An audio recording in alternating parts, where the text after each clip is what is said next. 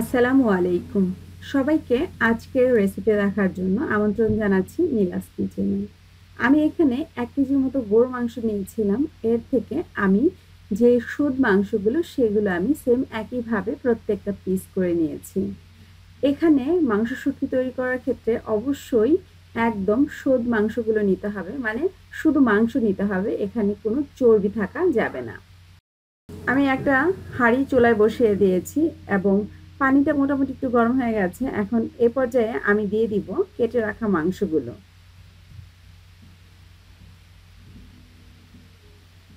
সেই সাথে দিয়ে দিচ্ছি এক চামচের মতো আদা বাটা এবং রসুন বাটাটা একটু কম দিতে হবে আদার চেয়ে। এখন আমি এতে প্রায় এক চামচের চেয়ে একটু কম রসুন বাটা দিয়ে দিচ্ছি এবং অর্ধেক চামচের মতো লবণ দিচ্ছি। এর চেয়ে বেশি লবণ দেওয়ার প্রয়োজন নেই, কারণ রান্না করার সময় তো আমরা লবণ দিবই।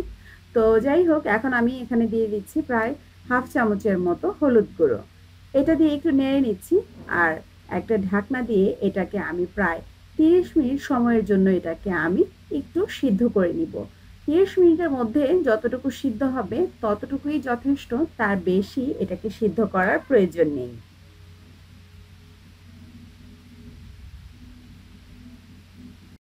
ফিরে আসলাম তিরিশ মিনিট পর। এ পর্যায়ে আমি এই মাংসগুলোকে একটা ছিদ্রযুক্ত চামচ দিয়ে এটাকে আমি নামিয়ে নিচ্ছি। এ পর্যায়ে যতটুকু সিদ্ধ হয়েছে ততটুকুই যথেষ্ট, তার চেয়ে বেশি সিদ্ধর জন্য আর বসিয়ে রাখার দরকার নেই। এখন আমি এগুলোকে একটা স্টেইনারে নামিয়ে নিচ্ছি।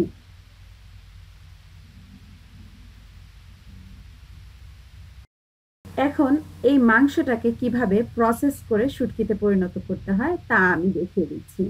যারা চুলার নিচে দিয়ে শুকাতে চান, রোদে দিতে চান না, তাদের জন্য। এখানে একটা ট্রে নিয়ে নিয়েছি, দিয়ে দিচ্ছি দুইটা কাগজ। কাগজটা দিলে এটা হবে, চুলার নিচে রাখার ফলে এটা ঘেমে যাবে না আর শুটকিগুলো শুকিয়ে যাবে খুব তাড়াতাড়ি।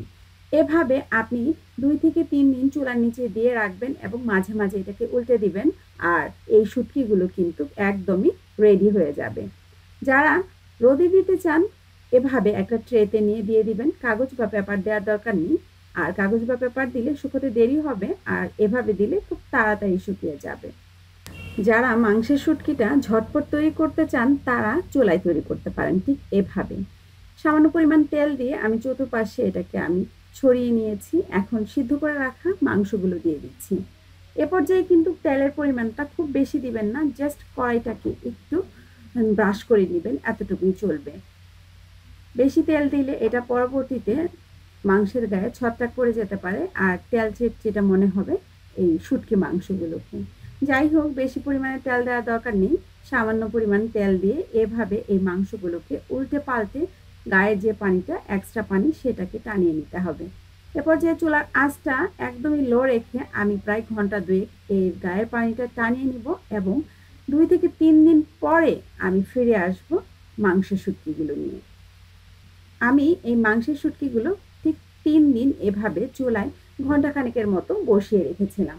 আর এর গায়ের এক্সট্রা পানিটা একদমই কমে গেছে, দেখতেই পাচ্ছেন। এভাবে আমি এই শুটকি মাংসগুলো তৈরি করে নিয়েছি। আপনিও ঠিক এভাবেই তৈরি করতে পারেন। আর এবার দেখিয়ে দিচ্ছি কীভাবে এই শুটকি মাংসগুলোকে সংরক্ষণ করবেন বছর জুড়ে।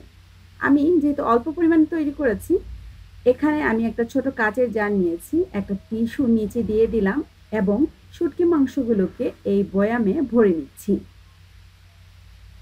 যারা বেশি তৈরি করবেন তারা পেপার দিয়ে নিতে পারেন, অসুবিধা নেই। আর নিচেও একটা পেপার এবং উপরেও একটা পেপার দিয়ে এভাবে মুড়িয়ে নেবেন। যে টিস্যু দিতে চান সে টিস্যু দিতে পারেন, অসুবিধা নেই। আর এভাবে ক্যাপটা বন্ধ রেখে আপনি চাইলে এটাকে আট থেকে নয় মাসের মতো নর্মাল টেম্পারেচারে রেখে আপনি এই শুটকি মাংসগুলো খেতে পারবেন। আর যারা ফ্রিজে রাখতে চান, সারা বছর জুড়ে আপনারা এই শুটকি মাংসের স্বাদ উপভোগ করতে পারেন। আমি আশা করছি আজকের এই ভিডিওটা আপনাদের কাজে আসবে। আর যদি আপনাদের এই ভিডিওটা ভালো লেগে থাকে প্লিজ আমার চ্যানেলকে সাবস্ক্রাইব করতে ভুলবেন না আর লাইক দিতেও ভুলবেন না। আর এই শুটকি মাংস দিয়ে কীভাবে গরম মাংসের শুটকি ভুনা তৈরি করতে হয় তা দেখার আমন্ত্রণ রইল আমার চ্যানেলে।